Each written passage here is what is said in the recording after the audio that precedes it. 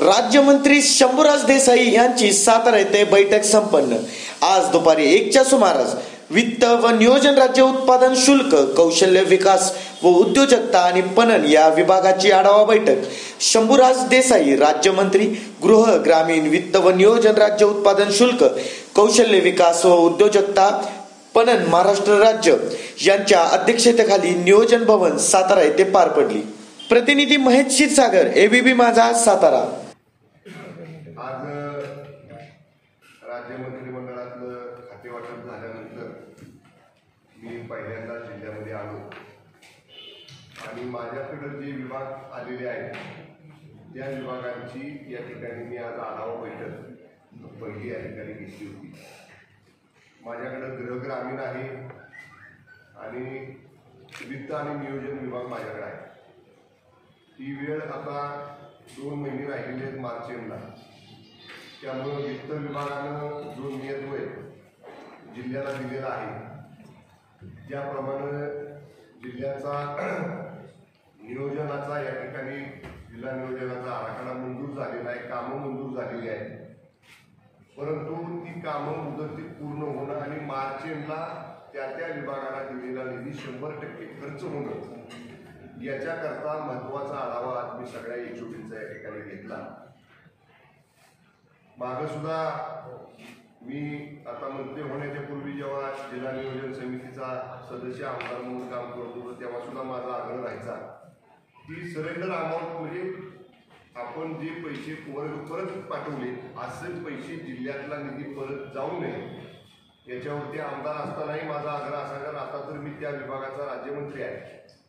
त्यामुळं मी आज डिटेल जो मार्जिनला पैसे खर्च करायचे आहे ते कुठल्याही परिस्थितीत खर्च झाले पाहिजे तो निधी परत जाता उपयोगाचा नाही. यासाठी डिटेल त्या त्या विभागाचा आढावा घेतला. संबंधित एचओडीनी त्यांनी त्यांची माहिती दिली. अपवाद एक दोन तीन विभागांचा फक्त आहे. बाकी जवळजवळ सगळे विभाग निधी खर्च करतायत. त्यांची कामं सुरू झालेली आहेत.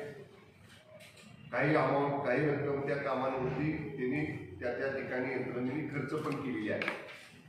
त्या वित्त आणि नियोजन विभागाच्या माध्यमातून जेव्हा आपण हा निधी शंभर टक्के यावर्षी जर खर्च झाला तर तो आपण करणारच आहे. सुदैवानं सत्तावीस तारखेला माझ्याच विभागाचे माननीय वित्तमंत्री महोदयांनी आमच्या विभागाची रिजनल मीटिंग वीस एकवीसच्या प्लॅनसाठी पुण्याला बोलवलेली आहे. कालच मान्य दादाने आणि मी वित्त विभागाचा सविस्तर साडेतीन तास आढावा मुंबईमध्ये घेतला. आणि आताची राज्य सरकारच्या तिजोरीची परिस्थिती हे बघून कशा पद्धतीनं वीस एकवीसचे प्लॅन करायचे या संदर्भातल्या रिजनल मिटिंग ही संपूर्ण राज्यामधल्या त्याचा प्लॅन त्याचे त्याचं कार्यक्रम तयार झालेला आहे. मी आत्ताच्याच बैठकीमध्ये आमच्या बी टी ओनं सांगितलं की आपला वीस एकवीसचा प्लॅन साईज आपल्याला वाढवायचा आहे. माननीय पालकमंत्री महोदय त्या बाबतीत ती बैठक स्वतंत्रपणाने घेणार आहे पण या विभागाचा वित्त आणि नियोजनचा राज्यमंत्री म्हणून माझ्या जिल्ह्याला प्लॅन वाढवून मिळावा आपल्या सातारा जिल्ह्याला ह्याच्यासाठी माझा प्रयत्न राहील. माननीय वित्तमंत्र्यांच्याकडं मी त्याच्यासाठी आग्रह धरीन. या बैठकीमध्ये आणि नक्कीच तो प्लॅन वाढवण्याचा प्रयत्न या ठिकाणी आपण करू. हे झालं वित्त आणि नियोजनचं. स्टेट एक्साईजचा सुद्धा सविस्तर आढावा या ठिकाणी झाला. काही तांत्रिक त्यांच्या अडचणी एक दोन ठिकाणी होत्या. त्याच्यासाठी स्वतंत्रपणानं आज किंवा उद्या वेळ मिळाल्यानंतर आमचे एक्साईजचे सगळे जिल्हास्तरीय अधिकारी स्वतंत्रपणानं मी बोलवलेले आहे आत्ता दुपारीच दोन वाजता ही पत्रकार परिषद झाल्यानंतर कौशल्य विकास जो विभाग माझ्याकडे आहे त्याचा स्वतंत्र आढावा मी घेतोय. साधारणतः तीन कोटी रुपये जिल्हा नियोजनमधनं कौशल्य विकासला आपण दिलेले आहेत. निधी खर्च करायला त्यांच्या काही अडचणी आहेत. कदाचित ह्याच्या अगोदर जर मान्य आहे त्याच्या अगोदरच्या पालकमंत्र्यांकडे त्या अधिकाऱ्यांनी मान्य आहे तर त्यातनं मार्ग निघाला असता. परंतु ठीक आहे त्याने आता माझ्याकडे मांडले दोन अडीच महिने आपल्या हातामध्ये आहेत. मी आमच्या कौशल्य विकासच्या अधिकाऱ्यांना सांगितले की समजा ठीक आहे त्यांची तांत्रिक अडचण आहे काही सूत्र ठरवून दिलेली त्याच्या बाहेर खर्च करता येत नाही. त्यांचं म्हणणं असं आलं आता की त्या कौशल्य विकास करता ज्या योजना तसे आम्हाला विद्यार्थी मिळत नाही तर मला सुदैवाने सकाळीच रयत शिक्षण संस्थेचे चेअरमन अनिल पाटील साहेब भेटायला आलेली होती. आणि त्यांच्या काही शाखांमध्ये एक वेगळं कौशल्य विकासाचा त्यांनी कार्यक्रम राबवलेला आहे. आजच्या बैठकीत आमच्या अधिकाऱ्यांना सांगणार आहे तिथं जर आपल्याला आपले विद्यार्थी शेअर करता आले रयतचे विद्यार्थी सोडून आपले बाहेरचे आपल्या प्राथमिक शाळांमधले आपल्या माध्यमिक शाळांमधले किंवा आपल्या काही चांगल्या हायस्कूल्समधले विद्यार्थी या योजनेमध्ये घालून त्यांच्या तिथं जर आपल्याला त्यांना प्रशिक्षण देता आलं तर त्याची सुद्धा स्वतंत्र चर्चा मी आज आमच्या अधिकाऱ्यांच्या बरोबर या ठिकाणी करणार आहे. मला आवर्जून सांगितलं पाहिजे की काल मी राष्ट्रवादी काँग्रेसचे अध्यक्ष आदरणीय पवार साहेबांना या ठिकाणी मंत्रिपदाचा पदभार स्वीकारलेला सांगितलं मंत्रिपदाचा पदभार स्वीकारल्यानंतर मी त्यांचे आशीर्वाद घेण्यासाठी काल गेलो होतो. आणि साहेबांनी तुमच्याकडची माझ्याकडची खाती विचारल्यानंतर त्यांनी विशेष भर कौशल्य विकासवर दिला. आणि मला त्यांनी सांगितलं की जे जुने कोर्सेस आहेत जे पारंपरिक तेच कोर्सेस आपण आय टी आयमध्ये चालू ठेवलेले आहेत प्रायव्हेट आय टी आयला सुद्धा आपण तेच कोर्सेस दिलेले त्याच्यामध्ये काय बदल करा? ग्रामीण आणि विशेषतः दुर्गम डोंगरातले विद्यार्थी हे आपल्याला टेक्नोसेवी म्हणजे टेक्निकली हे आता संगणकाचं युग आहे. या बाबतीत आपले ग्रामीण भागातले विद्यार्थी या कौशल्य विकासमध्ये कसे अंतर्भूत करता येतील अशा काही चांगलं साहेबांनी या ठिकाणी मला आदेश दिले.